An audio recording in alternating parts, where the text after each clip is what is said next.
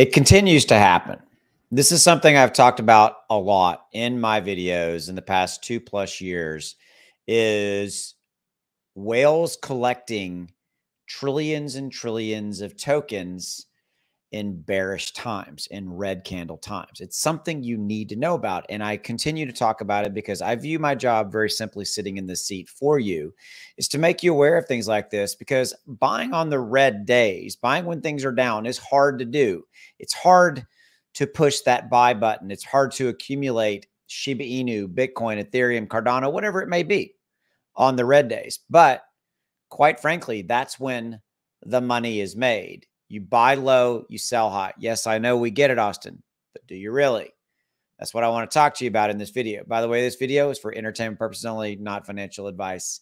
Here's what I have for you. Whales have bought over 10.25 trillion. That's 10 trillion, 250 billion Shiba Inu tokens in the last seven days. Why are they buying?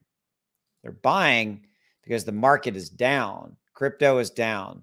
They're buying because Shiba Inu is at a 11 plus percent discount, if you will, versus the price in this in this seven day window. They're buying because Shiba Inu is now at five zeros, eight, eight, and change. They're buying because they're locking in very, very good low cost per Shiba Inu tokens. And they have a plan. They have a plan to sell those tokens down the road and make a profit 20%, 30%, 40%, whatever that profit, their profit plans are. I talk about this all the time in my videos. Have a plan, have a profit plan. My point to you with this video is very simple it's to illustrate that it is one of the hardest things to do to buy any crypto coin token. By the way, stock, Apple, Tesla, the hardest thing to do is to buy on the red days.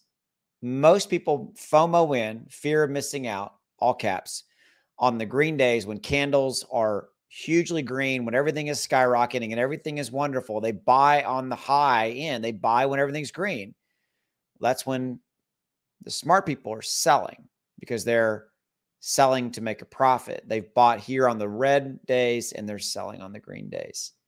It is quite frankly that simple, but it is hard to buy on the red days. And my point with this video is to illustrate that whales out there are collecting, are accumulating north of 10 trillion plus tokens in the last seven days.